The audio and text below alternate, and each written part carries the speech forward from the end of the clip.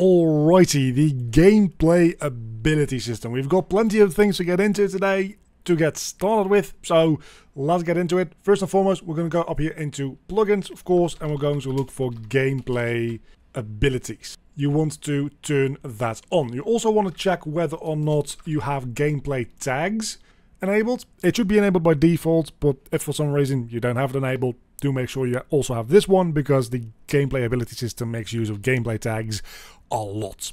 Anyway, we want to restart the Unreal Editor and then we can actually get into it. Okay, so a few things before we get started. We are going to need to use a little bit of C++ to set certain things up which can only be done in C++. Just the setup will be done there and a few of the more complicated calculations that we'll need to do eventually also are limited to C++. For the most part, this entire system is made to be used in Blueprint and to make it easier for gameplay programmers don't really know how to use C++ too much to quickly and efficiently make gameplay abilities for a game that needs a lot of them.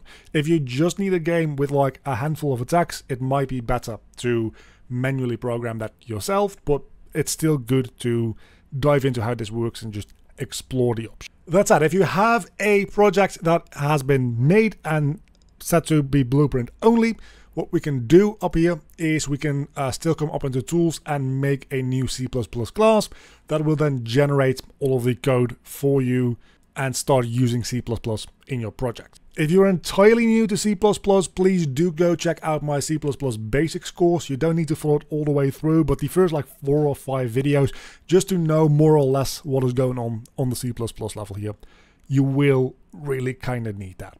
Then, when we have the C++ enabled for our project, we can open in Visual Studio or Visual Studio Code or whatever you might be using, and we have our IDE ready coming down into source and then in your directory for your project itself. There should be a couple of ones in here already, like the third person character. If you use the third person character template, I'm assuming that you did.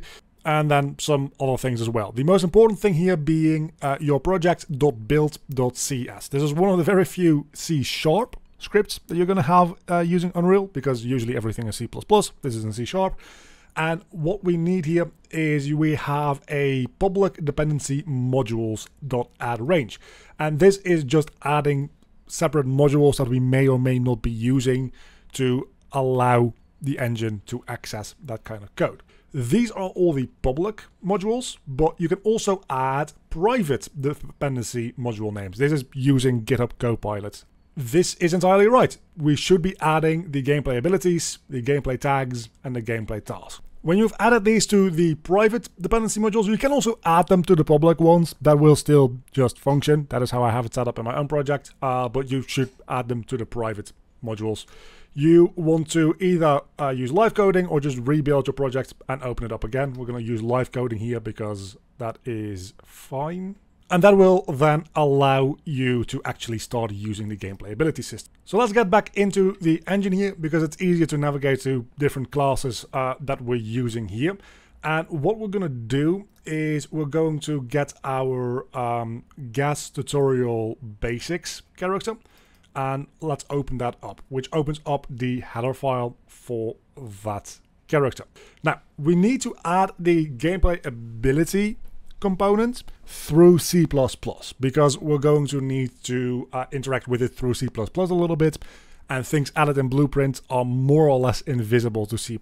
In here, let's go into the protected section and I'm also going to remove the uh, look and move functions that we have in here because I have those set up on my player controller that I made off screen as well as jumping and the entire uh, player inputs will be uh, dealt through the controller.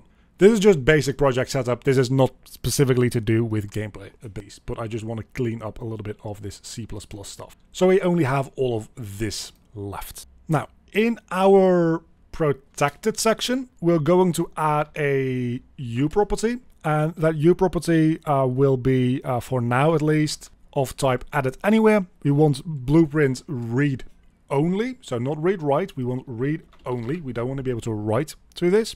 And the category we'll put as gas for gameplay ability system. And then for meta allow private access, uh, we're going to set to true as well.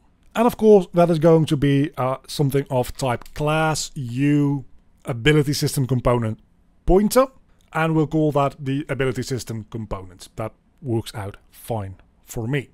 And then we'll come over into the CPP file, into the constructor of this class, and we'll just go to the very bottom here, and we'll say our ability system component equals create default sub-object of type u ability system component, and the name of it is going to be the ability system component. In order for this to work though, we need to come up here into the includes, and we need to include the ability system component.h.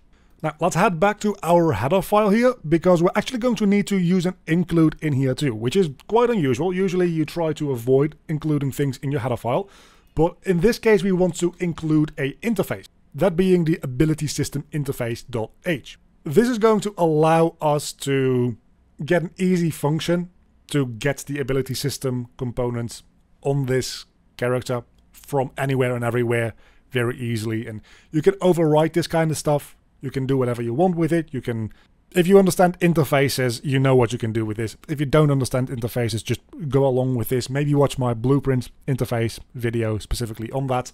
It's very, very good stuff. Because with that header file included, we can now also, after uh, our public A character, put a comma, and then we can include the interface. So that will be our public I ability system interface which now we have access to the functions that live on that. So the one that we're going to be using will be the virtual U ability system component pointer, get ability system component, which will be a const override, and that will just simply return our ability system components. Now, you can overwrite this on different classes to do different things and return different ability systems. So, for instance, if you have a class that for some reason is like a minion of a bigger enemy and it doesn't have an ability system component of its own because it just refers to the ability system of its owner, like the boss fight or something, you can then override the function on that specific class to not return its own ability system component, but look at its parent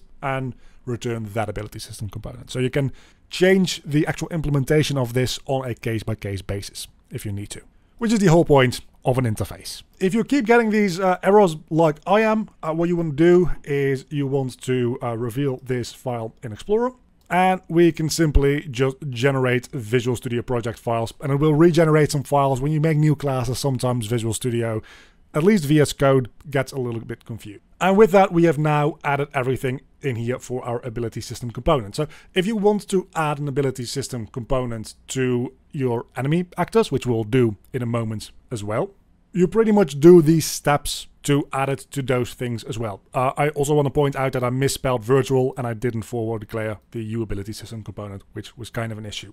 That all fixed now, we can compile and we should be able to see in the engine itself, we have our ability system component on our character now. And our default third person character that we have here now has a ability system component which we can get into all of the more detailed stuff about how we use that and how we actually do the stuff with gameplay abilities that we want to do a little bit later but for now suffice it to say we have our ability system component and we can use this get ability system component function and this can just be used on any actor. So if, for instance, I am in my level blueprint and I want to get player character, which will return a generic character reference, I can still use the get ability system component on that and it will run the function that we've just overwritten in C++ and return us the ability system component on that character. So that is the reason we needed to set all of that up. Because uh, I have a couple of characters here that I downloaded from the Unreal Marketplace, from the Paragon selection, and these ones inherit from the normal character class. So we're actually going to change that to be based on the Gas Tutorial Basics character instead. And now you'll see these ones also now have ability system components. And trying to replace a couple of the components with other components, but that doesn't matter. So we got that, and I'll also go into the thing that we're eventually going to turn into the enemy that we'll be fighting, which all of this stuff is deprecated code, which doesn't work anymore. So we're going to just remove that. And then in our class settings, once again, we'll base this one on the tutorial basics character so that it gets an ability component. And for now, that means that we have our setup with our enemy, which is going to use that in its behavior tree eventually, and our main character, which now has access to abilities, system components, but there's one little issue there, and that is that it doesn't do anything yet. And that's what we'll get into next time. Next time we're going to get ourselves a HP and something like a stamina or a MP, magic stat, whatever you want to call it. And a very big thank you to all of my Patreons. You can see them on screen right now. If you want to help out supporting the channel, there's a link down below in the description to the Patreon page. And a special thanks to my Cave Digger tier Patreons, J. Thomas,